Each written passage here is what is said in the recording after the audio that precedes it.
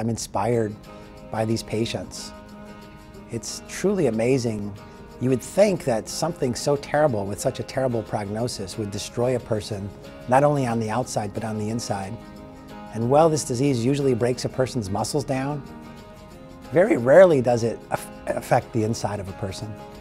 And in fact, I've even seen people get stronger on the inside.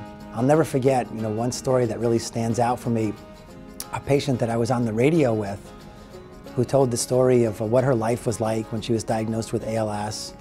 And you know, at this time, her physical function was nearly normal. She just had a little foot drop, and you know, she talked about how she was a multitasker, always on her phone all the time, and kind of had become separated from her husband and estranged from her children, and kind of lost touch with her faith. And now, a year later, she was in a wheelchair, but her husband was right there by her side, holding her hand, and she'd completely become re-engaged with her family and with her faith. She was even planning to do a mission.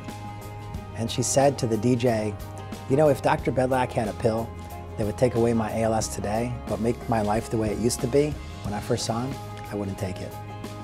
So that's truly making lemonade out of a lemon.